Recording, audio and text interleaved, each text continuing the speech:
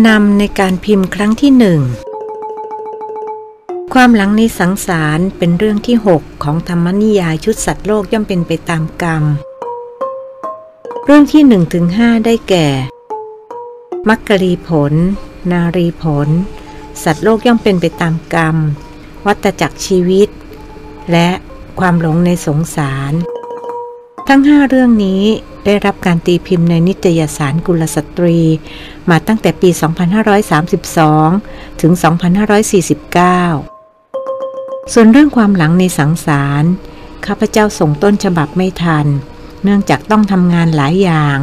เช่น เป็นอาจารย์พิเศษในมหาวิทยาลัยต่างๆเป็นผู้ทรงคุณวุฒิตรวจผลงานวิชาการของมหาวิทยาลัยและสถาบันการศึกษาหลายแห่ง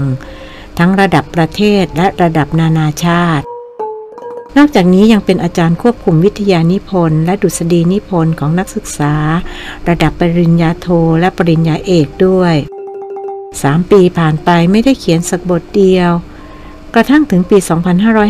2553 จึงเขียนได้หนึ่งบท ปี 2554 หาเวลาเขียนไม่ได้เลย ทั้งนี้เพราะเป็นปีสุดท้ายของการเป็นข้าราชการ ถึงเวลาที่ต้องปลดเกษียณหลังจากที่สอนมา 38 ปีเต็ม และใช้เสียงมากมาตลอด 38 ปีที่ทำงาน ข้าพเจ้าทำหน้าที่ครูอาจารย์จนถึงวันสุดท้ายของการรับราชการ คือวันที่ 30 กันยายน 2554 ตั้งใจไว้ว่าจะไปเข้ากรรมฐานที่วัดอัมพวัน ทันทีที่พ้นจากการทำงานราชการ ครั้นโทรศัพท์ไปที่วัด ทางวัดบอกรับไม่ได้ เนื่องจากได้รับผลกระทบจากน้ำท่วม ห้องน้ำใช้ไม่ได้ ข้าพเจ้าจึงเปลี่ยนไปเข้าที่วัดป่าเจริญราษฎร์ตั้งแต่วันที่1ถึง8ตุลาคม แทน ระหว่างที่ปฏิบัติอยู่วัดป่า ปรากฏว่าน้ำท่วมวัดตาลเอนอำเภอบางประหันจังหวัดพระนครศรีอยุธยา กระแสน้ำพัดพระลูกวัดหายไปหนึ่งรูป ท่านพระครูจิรายุทธอธิฉันโทเจ้าอาวาสจึงโทรศัพท์มาบอกเจ้าอาวาสวัดป่า คือท่านพระครูธรรมทรวีระนนท์วีระนันโท เจ้าอาวาสวัดป่าจึงบอกบุญผู้ปฏิบัติธรรม ได้ปัจจัยมา 60,000 บาท ซื้อเครื่องสูบน้ำไปช่วย วันที่ 8 ตุลาคม ข้าพเจ้ากลับถึงบ้านก็ยังไม่มีโอกาสเขียนบทที่สองพอวันที่ 9 เจ้าอาวาสวัดป่าโทรศัพท์มาบอกว่า อาจารย์ วัดอัตมาน้ำท่วมแล้ว สรุปว่าปี 2554 ไปวิตกกังวลอยู่กับเรื่องน้ำท่วม จนไม่เป็นอันได้เขียน ถึงปี 2555 อันเป็นปีพุทธชยันตี ข้าพเจ้าเดินทางไปเขียนที่ดาจิลิง เมืองที่ตั้งอยู่แถบเทือกเขาหิมาลัยที่เรียกกันว่าแดนหิมพาน สูงจากระดับน้ำทะเล 2,000 ฟุต อากาศบริสุทธิ์ไร้มลภาวะ แต่หนาวเย็นมาก อยู่ที่นั่นหนึ่งเดือนกับ 25 วัน เขียนได้ 11 บท กลับมาเขียนที่บ้านอีกสองบท เป็น 14 บท เมื่อนับรวมกับบทแรก ปี 2556 ไปเขียนที่ดาจิลลิงอีก อยู่ที่นั่นหนึ่งเดือนกับ 14 วัน เขียนได้ 3 บทครึ่ง คือบทที่ 15ถึง17 และบทที่ 18 อีกครึ่งบท ไปคราวที่แล้วไม่ได้ออกจากที่พักไปไหนเลย พอมาครั้งนี้ออกไปซื้ออาหารและผลไม้รวมสี่ครั้ง ใช้เวลาครั้งละสามชั่วโมง เพราะต้องเดินลงเขาตอนขาไป และเดินขึ้นเขาตอนขากลับ แต่ที่ได้งานน้อยเพราะมีปัญหาเรื่องสุขภาพ ซึ่งสุดโทมมากกว่าที่ควรจะเป็น ทั้งนี้เพราะข้าพเจ้ามุ่งแต่ทำงาน ไม่แบ่งเวลามาออกกำลังกายทั้งที่ได้รับปากกับบอกกุลสตรี คือคุณพี่ยุพางามสมจิต ไว้ตั้งแต่ปี 2548 ว่าจะออกกำลังกายทุกวันวันละ 30 นาที แต่ทำได้ไม่กี่วันก็ต้องเลิก เพราะห่วงงานมาก บางวันทำงานตั้งแต่สามทุ่มถึง6โมงเช้าก็มี มาดาจิลิ่งในครั้งนี้ข้าพเจ้าป่วยหลายครั้ง ยิ่งไปกว่านั้นยังคิดถึงเพื่อนร่วมงาน คือรองศาสตราจารย์ ดร สุภาพรมากแจ้ง ซึ่งเสียชีวิตด้วยโรคมะเร็งเมื่อวันที่ 17 พฤษภาคม เวลาประมาณ 4 นาฬิกา คุณปราณีสุดภาวาซึ่งเป็นสหธรรมิกของข้าพเจ้า และของดรสุภาพรส่งข่าวมาบอกตอนเช้ามืด ด้วยความที่เป็นห่วงคุณแม่ของดรสุภาพรซึ่งอายุ 94 ปี ข้าพเจ้าเสียใจอยู่หลายวันจนล้มป่วย แต่เมื่อข้าพเจ้ากลับจากดาจิลิงคุณแว่นแม่บ้านคนใหม่วัย 59 ปี ซึ่งไปช่วยงานบ้านดรสุภาพรทุกวันอาทิตย์ รายงานว่า คุณยายกำลังใจดีมาก ลุกขึ้นหุงข้าวใส่บาตรพระวันละสามรูปทุกวัน เพื่ออุทิศส่วนกุศลไปให้ลูกสาว ข้าพเจ้าไม่กล้าไปเยี่ยมคุณแม่ เพราะได้ไข้หวัดสายพันธุ์ใหม่มาจากดาจิลิงยังป่วยๆให้หายมาจนทุกวันนี้ ข้าพเจ้าตั้งใจไว้ว่าความหลังในสังสารจะเล่าเหตุการณ์ต่างๆ ที่พระเดชพระคุณหลวงพ่อประสบพบเห็น ตั้งแต่ปี 2528 ถึง 2548 แต่ไม่สามารถจึงจบลงในปี 2539 อันเป็นปีมหามงคลที่พระบาทสมเด็จพระเจ้าอยู่หัวทรงครองสิริราชสมบัติครบ 50 ปี จึงต้องขออภัยต่อท่านผู้อ่านในความล่าช้าไว้ณที่นี้ แต่รับรองว่าท่านจะไม่ผิดหวัง ขอเปิดเผยความลับว่า เรื่องนี้ข้าพเจ้าเขียนไปร้องไห้ไป เรียกว่าร้องไห้ทุกบทที่เขียน ทั้งนี้เพราะเกิดความซาบซึ้งในพระมหากรุณาของพระบรมศาสดาสัมมาสัมพุทธเจ้า ที่ทรงมีต่อสัตว์โลกทั้งปวง เมื่อพระองค์ปรินิพานแล้ว ก็ยังมีหลวงพ่อผู้เป็นสากยบุตรพุทธโอรส สืบสารงานแทน คือพระครูเจริญวัดป่ามะม่วงในธรรมนิยายชุดนี้ ซึ่งงามจริงของพระเดชพระคุณคือหลวงพ่อจรันทิตธรรมโม หรือพระธรรมสิงหบุราจารย์แห่งวัดอัมพวัน จังหวัดสิงห์บุรี พระอริยสงฆ์ที่เดินตามรอยบาทพระศาสดามาตั้งแต่บวชใหม่ๆ จนถึงบัดนี้ 65 ปีมาแล้ว เรื่องที่ 6 นี้ ข้าพเจ้าเน้นความสำคัญของภาษาบาลี อันเป็นภาษาที่พระบรมศาสดาทรงใช้ในการเผยแผ่พระธรรมคำสอน ตั้งแต่ทรงประดิษฐานพระศาสนาลงในแคว้นมคตใหม่ ๆ เมื่อ 2,601 ปีมาแล้ว พระอัฏฐกถาจารย์ท่านให้ความสำคัญแก่ภาษาบาลีว่า การเขียนและอ่านภาษาบาลีอย่างถูกต้องและชัดเจน ย่อมได้อานิสงส์มาก หากเขียนและอ่านไม่ถูกต้อง นอกจากไม่ได้รับอานิสงส์แล้ว ท่านว่ายังบาปมากด้วย การเขียนไม่ถูกต้องเช่น โยโทโส เขียนเป็นโย โทโส โทโสสระโอททหาร เป็น สโอทอทง ซึ่งผิด เพราะโทโสแปลว่าความโกรธ ส่วนโทโสคือสโอทอทง ไม่มีในภาษาบาลี การอ่านก็เช่นกัน มักอ่านผิดกันมาก เช่นอระหะโต ซึ่งแปลว่าเป็นผู้ไกลจากกิเลส อันเป็นพุทธคุณข้อหนึ่งในพุทธคุณ 9 เมื่ออ่านผิดเป็นอาระหะโต แปลว่า เป็นสิ่งที่เหมาะสม เป็นการลดคุณสมบัติของพระพุทธเจ้า จากเป็นผู้ไกลจากกิเลส ไปเป็นสิ่งที่เหมาะสมเป็นต้น และที่ผิดกันมากคืออ่านปอปาเป็นบอใบไม้ เช่น ปุญยักษ์เขตตัง อ่านเป็นบุญยักษ์เขตตัง ปุกขลาอ่านเป็นบุกขลา ปูชาอ่านเป็นบูชา ถือว่าผิดมาก เพราะอักษรบอไม่มีในภาษาบาลี อีกคำหนึ่งที่มักอ่านกันผิดผิดคือคำว่า สัตถุโน ซึ่งแปลว่าผู้สอน แปลว่าพระพุทธเจ้า มักอ่านเป็นสัตทุโน ซึ่งไม่มีในภาษาบาลีเช่นกัน สิ่งสำคัญอีกประการหนึ่งคือการสวดมนต์ขณะที่เราสวดมนต์ถ้าสวดด้วยความตั้งใจ และออกเสียงถูกต้องชัดเจน เท่ากับได้ครบไตรสิกขา คือศีลสมาธิปัญญา พระอัฏฐกถาจารย์ท่านว่า อักษรตัวหนึ่งหนึ่งอันเป็นพระปริยติศาสตร์ของพระศาสดา มีค่าเท่ากับพระพุทธรูปองค์หนึ่ง ยกตัวอย่างเช่นคำว่าอะระหะโต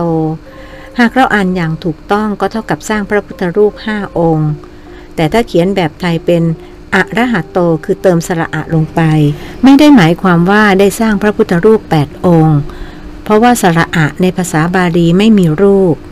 ดังนี้เป็นต้น ข้อควรสังเกตคือ การสวดมนต์ทำวัด มักออกเสียงกันไม่ถูกต้อง ยกตัวอย่างเช่นคำว่า อาทิกัลยานังมัชเชกัลยานังปริโยสานกัลยานังและอภิปูชยามิ มักออกเสียงยาเป็นย่า หรือน้ำมามิออกเสียงมาเป็นมาซึ่งถือว่าผิดเพเพราะภาษาบาลีไม่มีวรรณยุกต์เอกโทตรีจัตวา เหมือนในภาษาไทย นอกจากเน้นความสำคัญของภาษาบาลีแล้ว หนังสือเรื่องนี้ยังเน้นความรักและความกตัญญูกะตะเวทีของคนไทย ต่อสถาบันหลักทั้งสามคือชาติ ศาสนา และพระมหากษัตริย์ คนไทยทุกคนต้องสอนลูกสอนหลานให้รักและหวงแหนแผ่นดินถิ่นเกิด ที่บูรพมหากษัตริย์และบรรพบุรุษของเราต้องเสียเลือดเนื้อเพื่อปกป้องและปกปักรักษาแผ่นดินไว้ให้ลูกหลานไทย ได้อาศัยอยู่อย่างสุขสบายกันทั่วหน้า ผู้ใดคิดคดทรยศต่อสถาบันทั้งสาม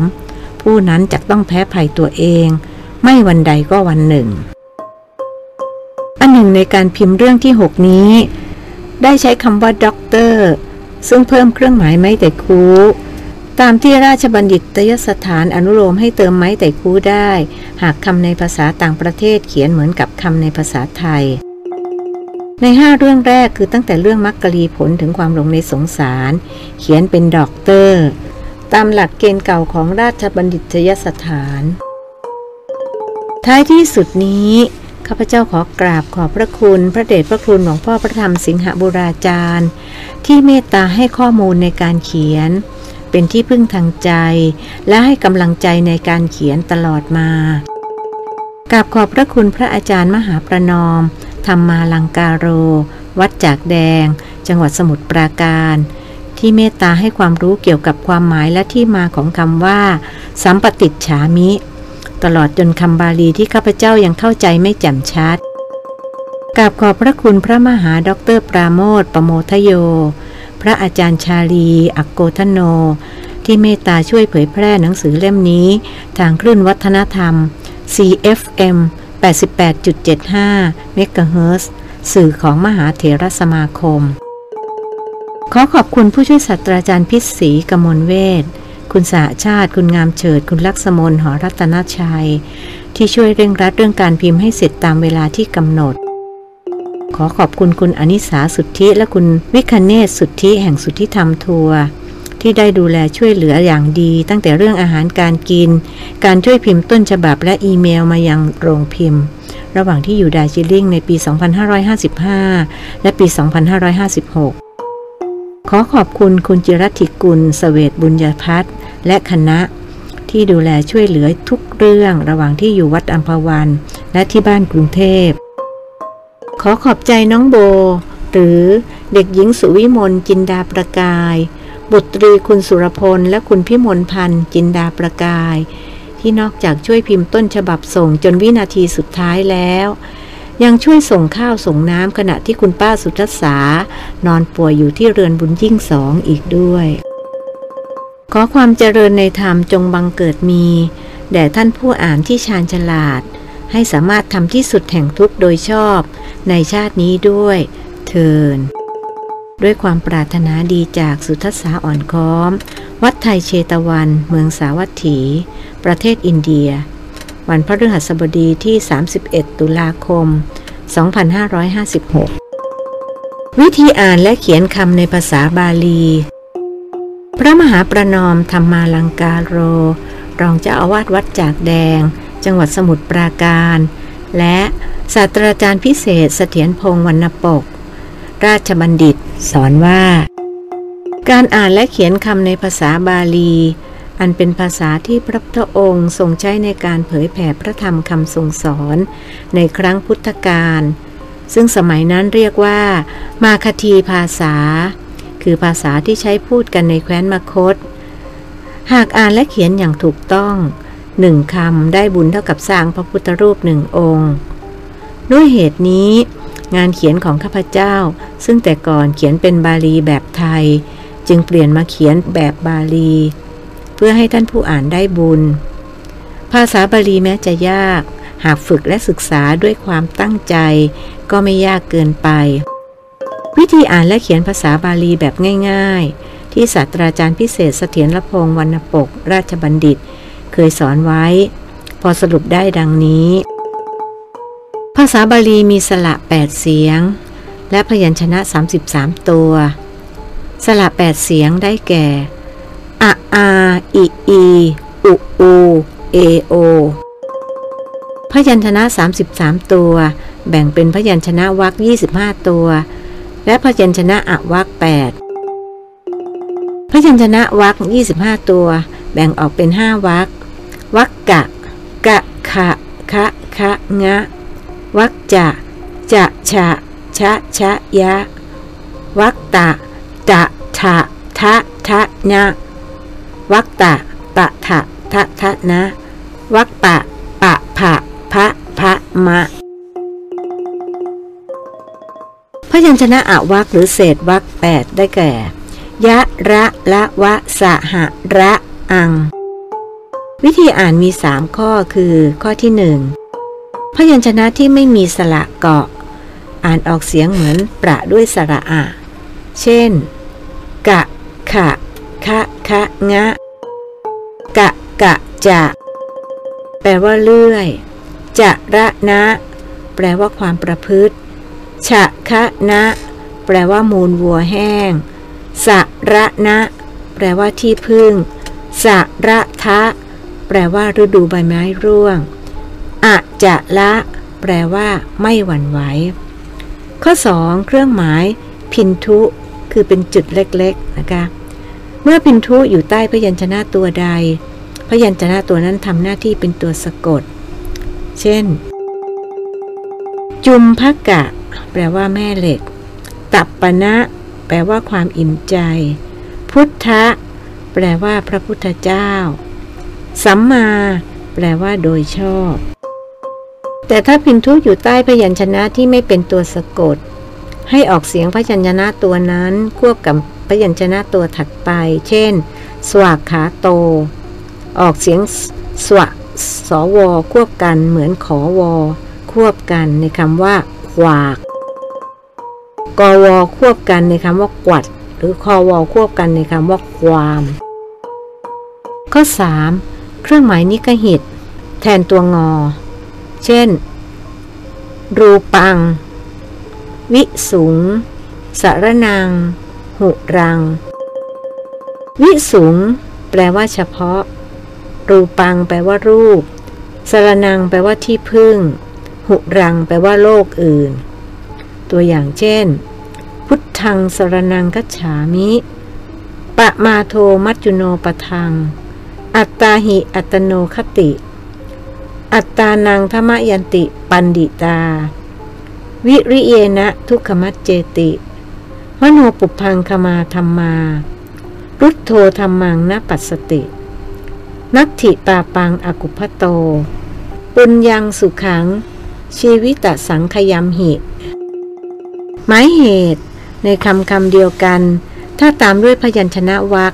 ใช้งองูแล้วก็ตัวพินทุอยู่ใต้งองู แทนเครื่องหมายนิกหิต เช่นคำว่าสังโค ชีวิตสังขยมหิกลิงครัง อุปสังกมิตวา เป็นต้น แต่ถ้าตามด้วยพยัญชนะอวักหรือเศษวักหรือเป็นตัวสุดท้ายของคำจึงใช้นิกหิต เช่น สังสารัง มังสัง เอกัง เตสัง เป็นต้น ยกตัวอย่างมามากพอสมควร เพื่อแสดงให้เห็นว่า การอ่านและเขียนคำในภาษาบาลีนั้นไม่ยาก